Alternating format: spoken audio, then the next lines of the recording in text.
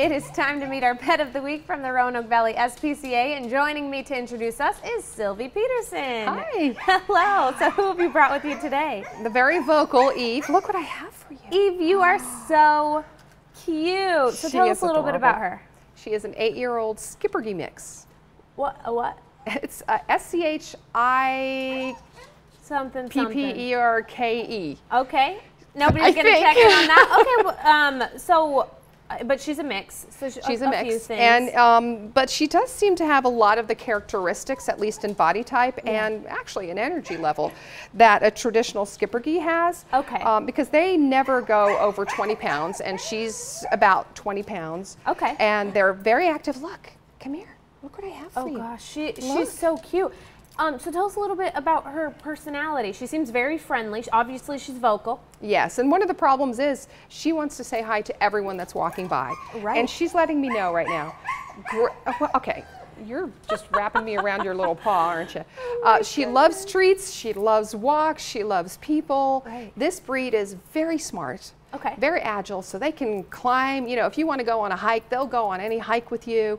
They'll play with the kids. They'll play out in the backyard. They'll eat treats until the cows come home. Yeah, But- obviously. But, very smart, very agile. So, you know, just the best type of um, adoption for her would be an active family. Okay. Or an active couple or person or um, kids. How would kids. be good with kids? Yeah. Okay. Um, but we do recommend that if you have kids, go. Now you have to look at the camera.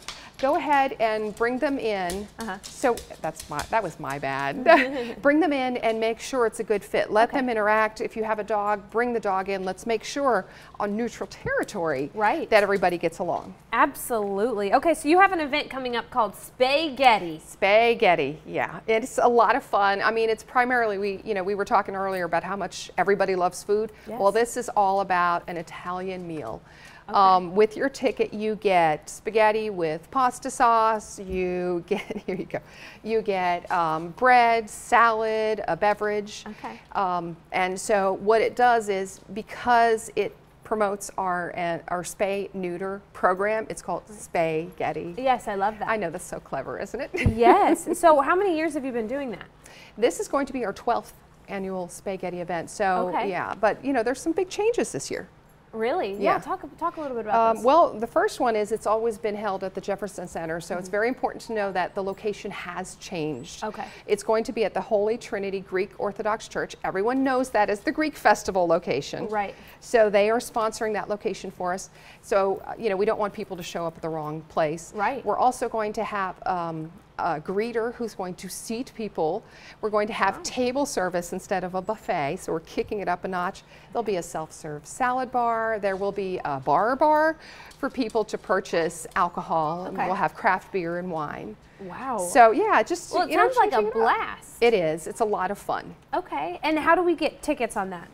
The tickets are available online, or you can purchase them at the shelter. They're nine dollars in advance, ten dollars at the door. Oh, wow. And so you can buy them through um, the the day before. But we also have corporate delivery, which is prepared by Olive Garden, again this year, and delivered by Fetch Roanoke. But that cuts off on October 13th because then they have to prepare.